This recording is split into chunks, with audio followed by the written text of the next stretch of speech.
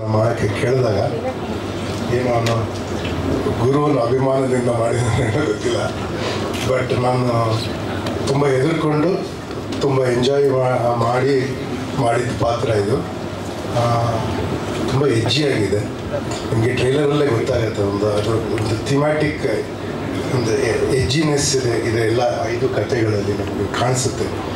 ನಮಗೆ ಬರೀ ಒಂದು ಪಂಡೆ ತುದಿಲಿ ನಿಂತ್ಕೊಂಡಿರೋದೇ ಟೆನ್ಷನ್ ಕ್ರಿಯೇಟ್ ಮಾಡುತ್ತೆ. ಆ ಥರದ್ದು ಒಂದು ಎಜ್ಜಿನೆಸ್ ಇದೆ ಅದು ಥ್ರೂ ಮೇಂಟೈನ್ ಮಾಡಿದ್ದಾರೆ ಅಂತ ನಾನು ತಿಳ್ಕೊಳ್ತೀನಿ. ಇದಕ್ಕಿಂತ ಹೆಚ್ಚು ನನಗೆ ಹೇಳೋಕ್ಕೆ ಇಷ್ಟ ಇಲ್ಲ ಒಂದೇ ಮಾತು ಹೇಳ್ತೀನಿ.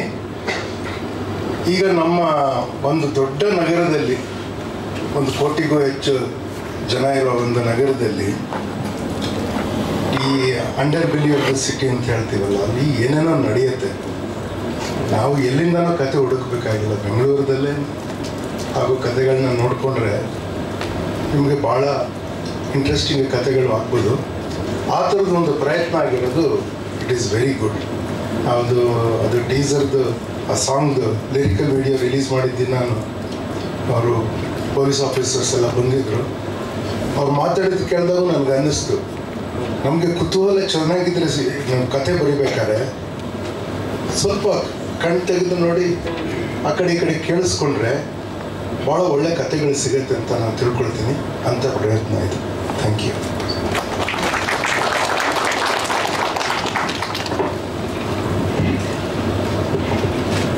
ಎಲ್ರಿಗೂ ನಮಸ್ಕಾರ. ಒಬ್ಬರಿಗೂ ಹಾಗೆ ನಮ್ಮ ಮಾಧ್ಯಮ ಮಿತ್ರರಿಗೆ.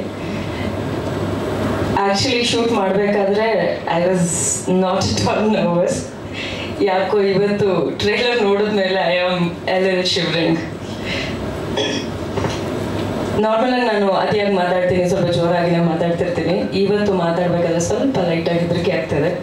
ಸಾರ್ಟ್ ಆಫ್ ಭಯನೂ ಆಗ್ತಾ ಇದೆ. ಬಿಕಾಸ್ ಆ ಟ್ರೈಲರ್ ನೋಡ್ತಿದ್ದ ಹಾಗೇನೆ, ಅಂದರೆ ನಾಟ್ ಜಸ್ಟ್ ನಮ್ಮ ಸ್ಟೋರಿ ಒಂದಾದ್ಮೇಲೆ ಒಂದು ಒಂದಾದ್ಮೇಲೆ ಒಂದು ಅದೊಂಥರ ಲೈಕ್ ಏನೋ ರೋಚಕ ಅನ್ನಿಸ್ತಾ ಇದೆ, ಅಥವಾ ನೆಕ್ಸ್ಟ್ ಏನಾಗುತ್ತೆ ಅನ್ನೋ ಒಂದು ಕ್ಯೂರಿಯಾಸಿಟಿ ಕಾಣಿಸ್ತಾ ಇದೆ. ಸೊ ಹಾಗಾಗಿ ನಾಟ್ ಜಸ್ಟ್ ನಮ್ಮ ಒಂದು ಪೋರ್ಷನ್ ಎಲ್ಲಾನು ಕಂಪ್ಲೀಟ್ ಆಗಿ ತುಂಬಾ ಚೆನ್ನಾಗಿ ಬಂದಿದೆ ಅಂತ ಹೇಳ್ಬೋದು.